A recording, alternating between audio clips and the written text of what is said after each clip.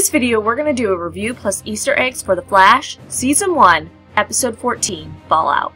If your inner fanboy fangirl isn't screaming right now, then you are quite possibly dead. We had almost everything this episode.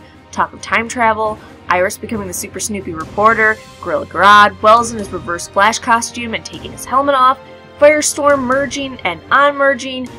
My gosh, we had like almost everything. Some really fun points. I am really starting to love Wells' wordplay. Uh, like when Ronnie apologizes for him being in a chair and Wells goes, I put myself in this chair. And it's like, yeah, you did. You got out of bed and walked over to your chair and put yourself in there, you jerk. And then Wells, you know, kind of beating around the bush saying time travel might work. And it's like, you sly dog, you know exactly that time travel is going to work. Another cool point is Iris becoming the Super, uh, Super Snoopy reporter. If you're reading the New 52 Flash, this actually causes um, some problems between Barry and Iris because she's always trying to get more information and more help and kind of like using him for things, and she's just always in the way.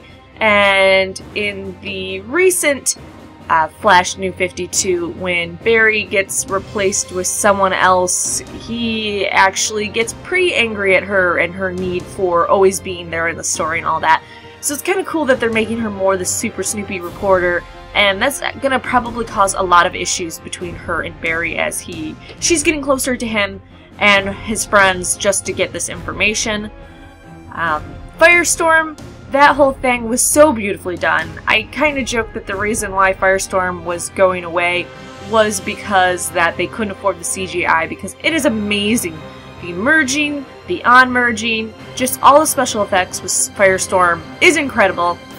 And I was really worried about how they were going to do the disembodied head voice thing, talking to Ronnie, and how they did it as just like a, a disembodied voice that he hears was marvelously done, and I really like that they finally changed it so um, Ronnie is in charge of his body, and Stein is there. Dr. Stein is just the the voice, kind of like guiding him and letting him know, "Hey, you can do this." What I really also like about this show is the fast movement. I mean, you'd almost think that this is a show about being fast, right?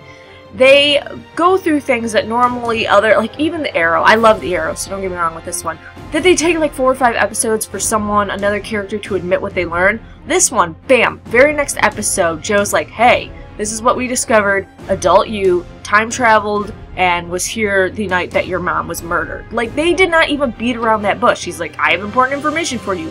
I care about you I'm going to instantly give you this important information. Unlike, you know, a lot of other shows that don't do that and they try to like heighten up the drama of what am I going to tell him? And I really, one, I love time travel. Two, it, that's a really sad storyline in Flash in general of him trying to go back to save his mom. And I won't tell you whether he fails or doesn't fail or what happens if he does succeed. But Think about that right now from Barry's perspective. He knows that he goes back in time to try to save his mom, and he fails. So right now, he already knows that he's set up for failure, and he's thinking, well, what if I just train really hard and I know that I fail, so that way I won't fail this time because I know to train harder.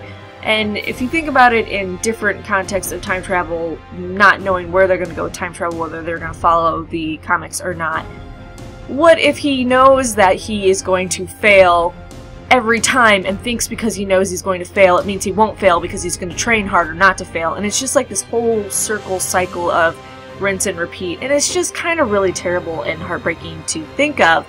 But still super cool that we're going to get time travel very soon and that Barry is starting to learn more and more about his powers and what the extent of it and what he can do.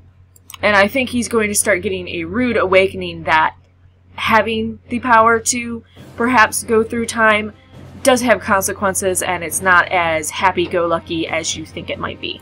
The weapons used against the Flash by the General Eiling I think was really cool.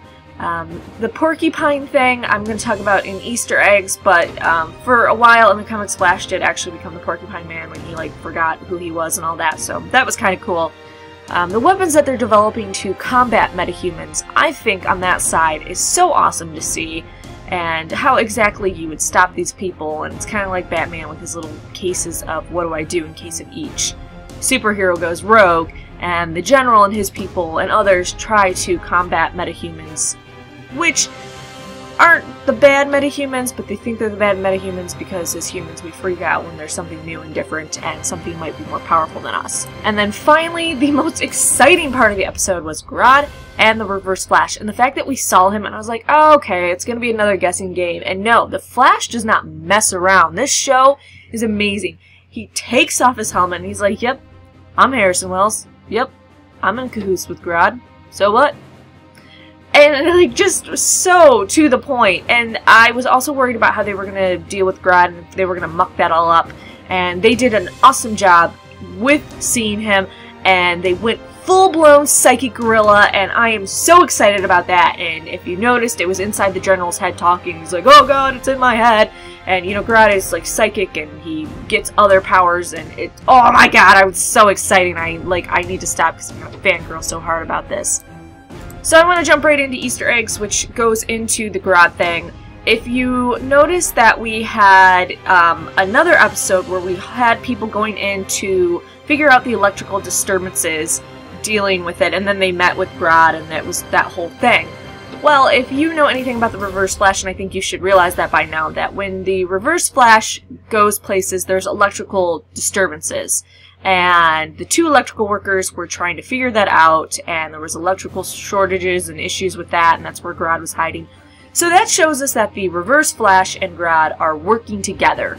Those two are in cahoots, they're working together, and I thought that was super cool. And that also goes with when Dr. Stein was being tortured, and and um, the General was talking about how the last time he used the cattle prod, it was on a gorilla. And that's another callback to him and Dr. Wells experimenting on Grodd before the particle accelerator went all crazy. Um, the meta-ness in the episode of going dude that can turn into poison gas and Cisco goes that was like week three and that actually lines up with when they got the mist was actually in episode three so it was kind of super meta-ish. Um, another thing is when they go Impossible's just another Tuesday for us. The call to the Flashes on Tuesday. Uh, if you notice that Mason Bridge ends up saying that it makes as much sense as Dothraki, and that's a call to Game of Thrones, which is a fictional language there. Um, the General, too, he has been in, in two episodes now, I think so, but he has a huge history in the comics, and he super hates metahumans. He just goes crazy for them, and he actually causes some issues for Justice League and Justice League Unlimited when he just can't help himself. Coast City was mentioned, and we know that Coast City is where Hal Jordan is from. Um, Firestorm, the merging, and Ronnie had white eyes. That's exactly like the comics, and I was a little worried for a while when Stein was the one in charge, but they actually merged completely, so Ronnie is in control of his body. And Stein is kind of there just like saying, hey, you should do this, watch out over here, we can we can use our powers like this he helps him along because this guy is super brilliant. They are heading back to Pittsburgh too. They said that at the end of the episode, and that is where those two originate from, which was pretty cool. So, pretty cool Easter eggs. Awesome episode. I cannot wait for March 17th. I think it's, oh, is that they have to wait a month, but with special effects and all that, I kind of understand. So anyways, those are my thoughts. You can make sure you like and subscribe.